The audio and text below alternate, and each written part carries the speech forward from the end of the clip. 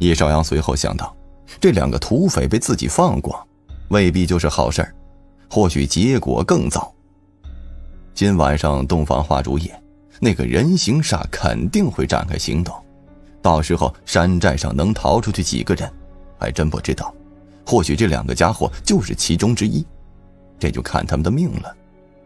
等他们走后，叶少阳继续上山，一路走到了山寨附近，仍然悄悄地绕到了之前那个位置，爬上围栏朝里面看去，立刻就看到了那间大瓦房的房门大开，里面张灯结彩的。从他们的角度，正好看到一个长排的桌子，从房间最里面一直延伸出来，排列到房门附近。桌上已经摆好了一些凉菜，有土匪们正在大厅里面走来走去，忙活着呢。叶少阳等了很久很久，一直等到天完全黑透了，总算看到了有两个人从寨门方向打着火把走进，手里提着几个包袱，一个人身上挂着一长串的鞭炮。叶少阳猜测，这两个就是之前下山的那两个，采购好东西之后又回来了。这两人把鞭炮摆在了大厅门的外面地上，进屋去交代任务，然后一行人布置起来，在大厅的横匾上挂上了红花。叶少阳想到，白天相同的位置还挂着白花呢。当时这道门还出过棺材，这才刚办完丧事，不到几个时辰，居然又办起了喜事来。这些土匪也真是够可以的，不觉得瘆得慌。在靠近最里侧的一张桌子前面。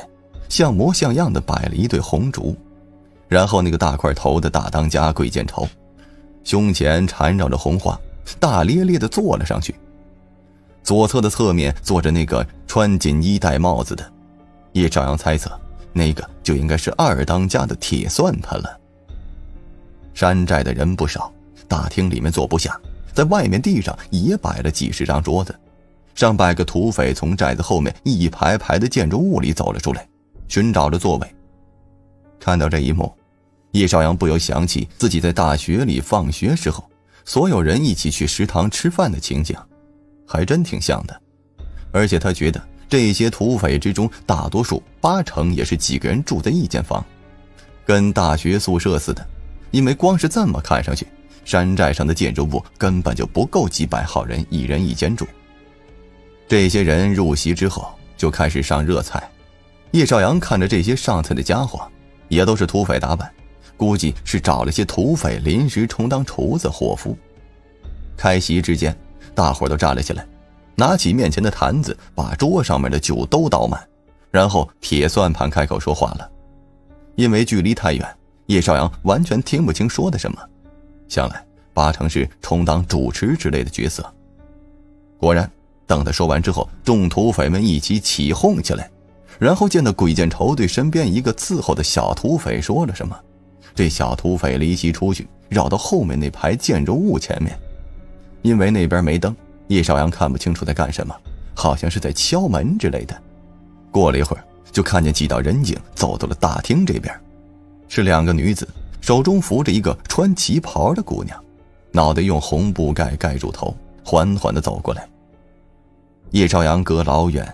一眼就认出了他身上的煞气，人形煞。到了夜晚，他身上的煞气果然已经出现了。不过他没有忙着去动手。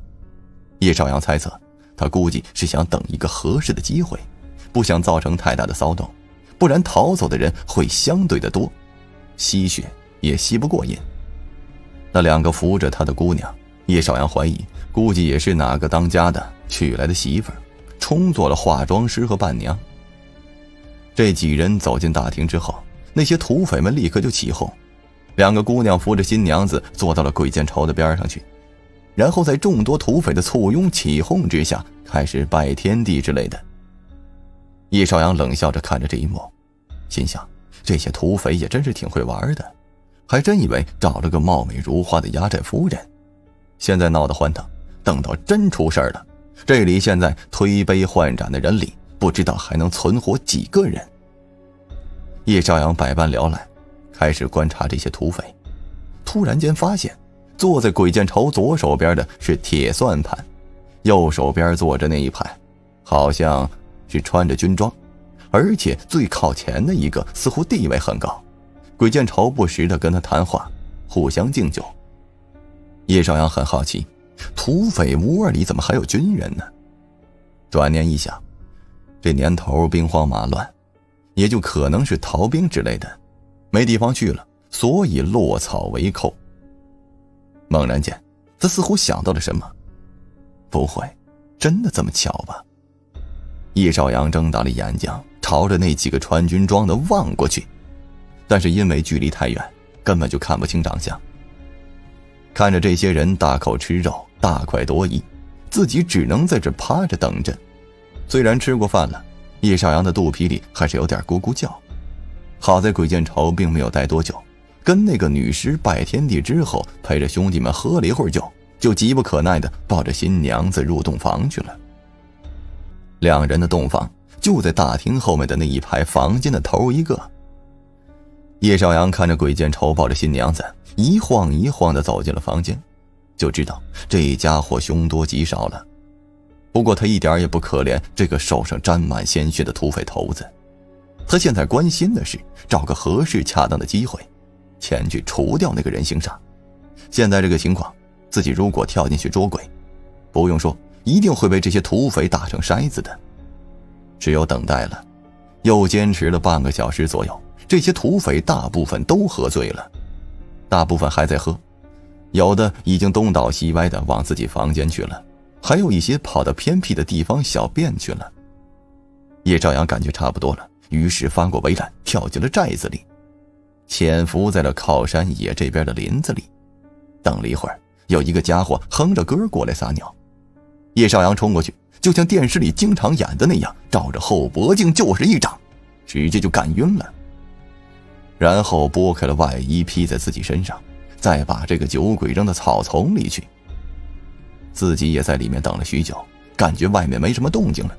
出去看的时候，只有少数几桌人还在吃喝划拳，其余的大部分都散去了。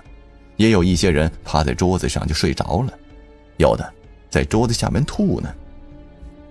叶少阳悄无声息地朝之前鬼见愁抱着媳妇儿去的那座建筑物走过去，想着那个鬼尸也不知道会不会跟鬼见愁啪啪啪。然后再吸血，不过鬼见愁必然是死定了。